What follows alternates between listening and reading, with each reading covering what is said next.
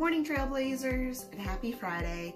I wanted to run through the game plan for today really quick with Lee with you.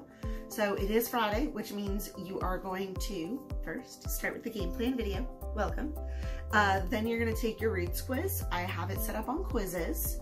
So the link is in the game plan list um, and it's on the Friday Power School page.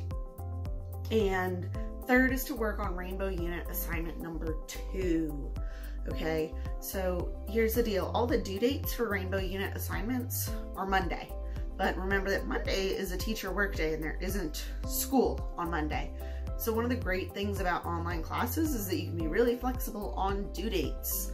Hopefully, you should get Rainbow Unit Assignment 2 done today. Like there's no reason you shouldn't be able to get it done today, but I've put the due dates as Monday to give you that added bit of flexibility just in case you need it. So to counteract yesterday's super long game plan video, today's is really short.